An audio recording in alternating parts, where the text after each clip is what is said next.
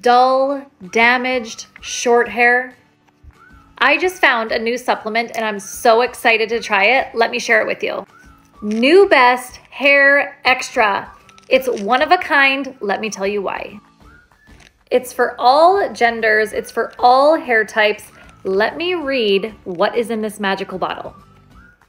It's loaded with so much good stuff. It has vitamin A, vitamin C, vitamin D3, vitamin E, B1, B2, B3, B6, B12, folate, biotin, uh, calcium, zinc, selenium, magnesium. This is like loaded. The other thing I love about it, gluten-free, non-GMO, dairy-free, and soy-free. NuBest has the best supplements on the market, and I'm so excited to try this because this hair needs some help.